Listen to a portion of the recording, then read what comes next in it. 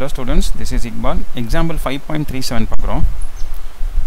Uh, a room 34 long is constructed to be a whis a whispering gallery. Okay ஒரு room கட்டுறாங்க. அதில் வந்து uh, அதான் sound ப்ரூஃபோட gallery ஒன்று கட்டுறாங்க அதில்.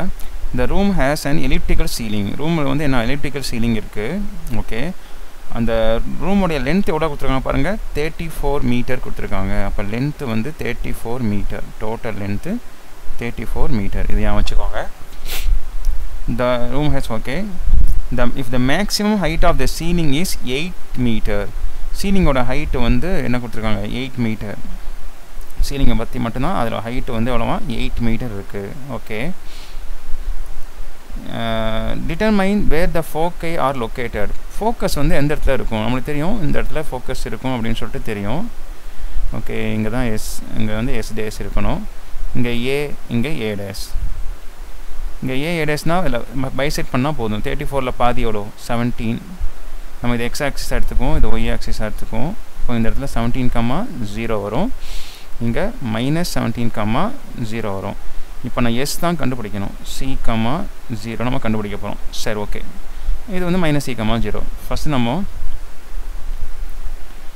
length of the major axis தான் கொடுத்துருக்காங்க. தேர்ட்டி ஃபோர் இருக்குல்ல அதான் நம்ம என்ன பண்ணணும்? லென்த் ஆஃப் த மேஜர் ஆக்சிஸ்னு எடுக்கணும். அப்போனா டூ ஏன்னு எடுக்கணும். Two A equal to thirty four metre அப்போ ஏ ஈக்குவல் டு எவ்வளோ?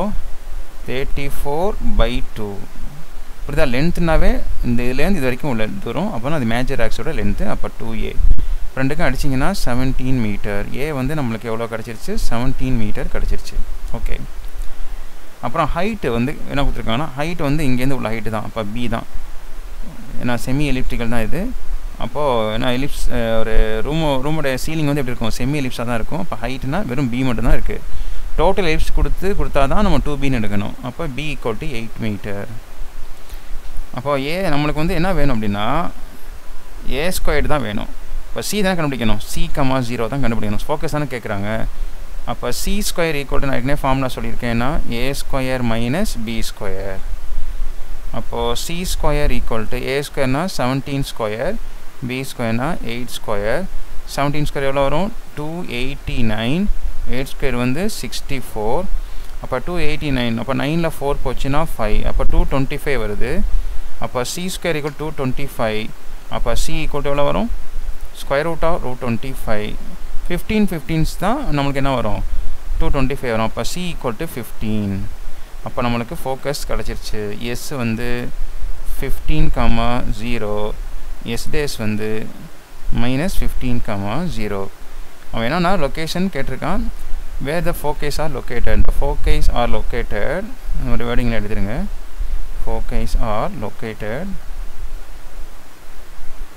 on either about 15 meter from the center either side about either side of either side of hmm, okay side of about 15 meter from the center அவ்வளோதான் ஈஸியாக இருக்கா